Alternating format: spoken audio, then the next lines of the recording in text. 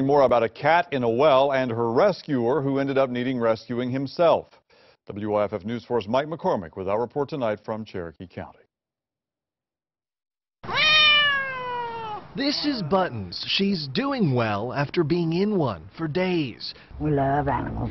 Barbara Dover says her son Joey gave the cat to his sister about eight years ago. We was on our way back to Myrtle Beach, and this man was on the side of the road, and uh, he had the cats, and they were, he was giving them away, and she was the only one, and she was the runt of the family. Buttons somehow ended up in the well under her owner's house, and Joey made it his mission to rescue her on Wednesday night because he was off work thanks to the snow. I didn't even know he was in the well.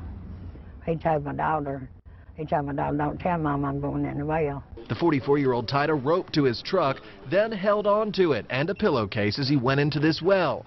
He wanted his sister to drive the truck forward, pulling him out, but he lost his grip on the rope and fell some 30 feet. He hollered out from in under the house and called 911. It took hours, but Gaffney firefighters rescued him as he held on to Buttons in the pillowcase. It was terrible, I tell you.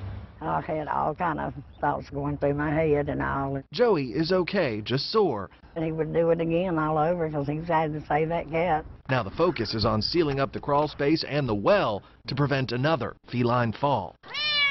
Mike McCormick, WYFF News 4, Cherokee County. This is the second time a cat has ended up in that well. A few years ago, we're told, a neighborhood cat was rescued by a boy who dropped down a basket with some food in it. When it comes to domestic violence in South